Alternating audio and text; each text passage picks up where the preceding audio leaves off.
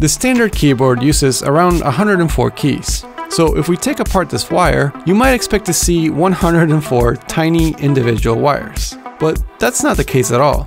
That's because this keyboard is communicating through a protocol called Universal Serial Bus. If we actually look at the signals going to the computer, it's these really fast pulses that, in the end, just make zeros and ones to represent different keystrokes, sent out as little packets of information every fraction of a second.